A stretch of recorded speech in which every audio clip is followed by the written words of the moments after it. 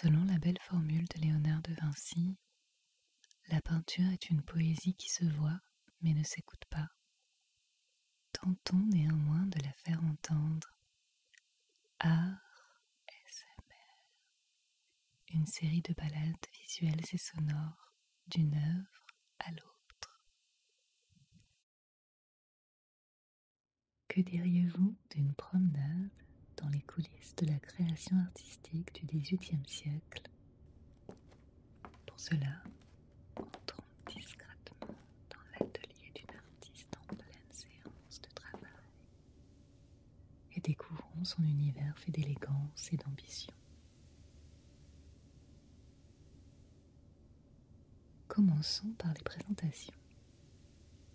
Voici Adélaïde Labille-Guillard, magistrale au centre de la composition où elle est représentée assise, palette et pinceaux en main. La signature sur le chevet en témoigne. Cet atelier est bien le sien. Elle est à la fois peintre et figure principale de cet autoportrait au format inhabituellement imposant. Qui était donc cette femme née en 1749 Adélaïde grandit au sein d'une famille bourgeoise de commerçants parisiens qui tiennent une boutique de mode. Peut-être d'où vient la magnifique toilette qu'elle porte dans ce tableau. Jeune adolescente, elle entame une première formation de miniaturiste et pastelliste. Sa pratique devient rapidement professionnelle. Âgée d'à peine 20 ans, elle est reconnue par ses pairs et la critique loue ses portraits d'une grande maîtrise technique. Voyez ici comme elle saisit admirablement la variation des teintes de la peau, la lumière qui se reflète sur l'arête du nez, la pulpe des lèvres, le métal des boucles d'oreilles. La Bilguillard est douée ainsi qu'ambitieuse. A choisi de se former à la peinture à l'huile technique indispensable pour intégrer la célèbre Académie royale de peinture et de sculpture. Est reçue en 1783 à 36 ans, en même temps qu'une autre grande peintre, Elisabeth Figé-Lebrun. Toutes deux figurent ainsi parmi les quatre femmes membres de la prestigieuse institution qui accueille en ces temps plus de 80 hommes. Adélaïde appartient à la catégorie des peintres de portrait car l'interdiction faite aux femmes d'assister aux cours de modèles vivants constitue un frein efficace pour la réalisation de tableaux dits d'histoire, grandes compositions représentant de nombreux personnages en action et genre le plus noble au sein de la hiérarchie des valeurs académiques.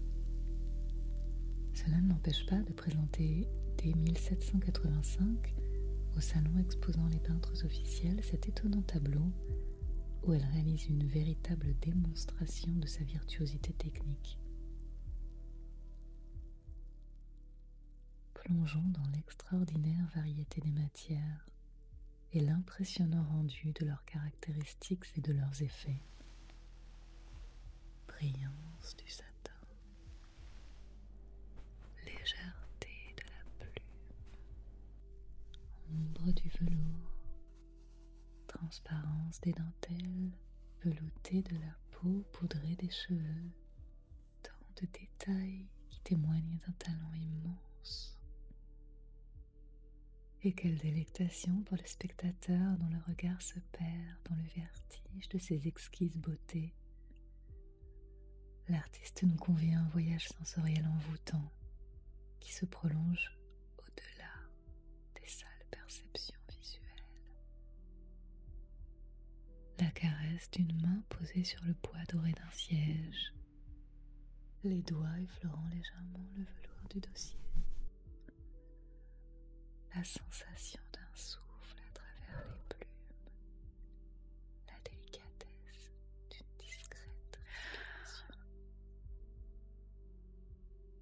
Les sons aussi se mêlent à cet univers avec un froissement de tissu, un choc léger d'un soulier contre le chevalet.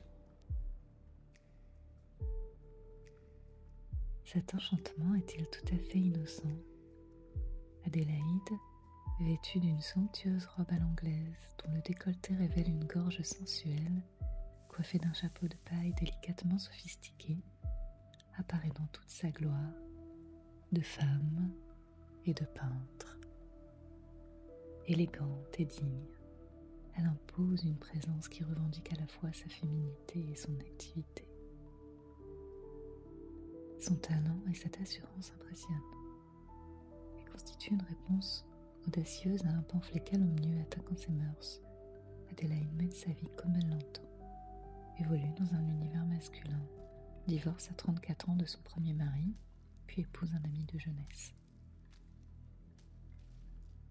Indépendante, mais non pas seule, la peintre est ici accompagnée de deux élèves qui assistent au travail de la maîtresse.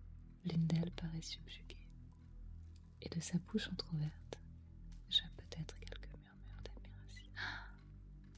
Le statut et la modestie des élèves sont apparents à travers leurs robes aux couleurs moins éclatantes, les simples gaz de tulle ainsi que les pudiques décolletés. Malgré la distinction nette avec la figure magistrale, un lien fort unit les trois femmes. L'enlacement délicat des jeunes filles qui se tiennent à l'épaule et par la taille signale leur complicité.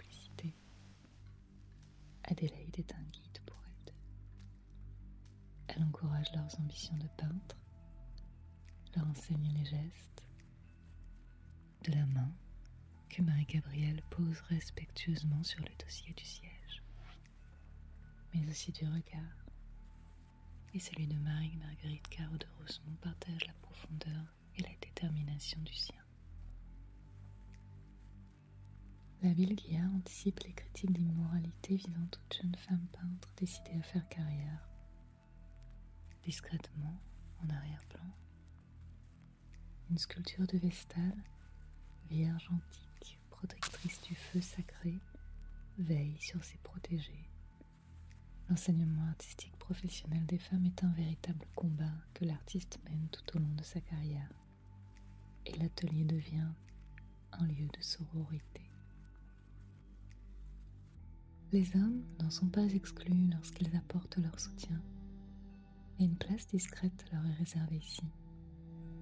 Tel ce buste en marbre, copie très fidèle d'une sculpture réalisée par Augustin Pajot et exposée au même salon de 1785.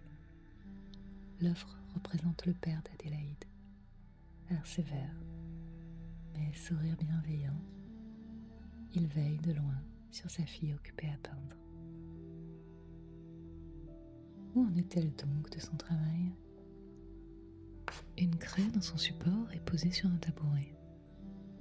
L'artiste tient désormais en main sa palette pour travailler les couleurs de ce tableau peint à l'huile. La Guillard s'est représentée avec une élégance peu adaptée à sa tâche, mais elle prend soin de montrer la matérialité du travail de l'artiste. Le chevalet occupe tout le pan gauche de la composition supportant un châssis de grand format sur lequel on distingue précisément une toile tendue Malgré tous ces détails minutieux, aucun indice ne révèle le sujet de l'heure en cours. Qu'observe avec tant d'attention Adélaïde et Marie-Marguerite? Un miroir posté face à elle peut-être, à moins qu'un modèle ne prenne la pose dans l'atelier. Leur regard trouble le spectateur. Ils effacent la frontière entre la représentation Chaque visiteur du salon de 1785 pénètre alors, presque malgré lui, dans l'espace privé de l'atelier. Deviendrait-il ce modèle dont l'image sera bientôt reproduite sur la toile? La proposition paraît tentante de posséder son portrait peint par cette splendide et talentueuse artiste elle est suffisamment pour que plusieurs commandes prestigieuses lui soient alors passées, notamment de la part de la famille royale. En se représentant comme une figure imposante et incontournable de la création artistique de son époque, la Guillaume n'aura fait qu'anticiper les honneurs reçus peu de temps après. Elle obtient alors le prestigieux titre de premier peintre de Mesdames, sœurs du roi.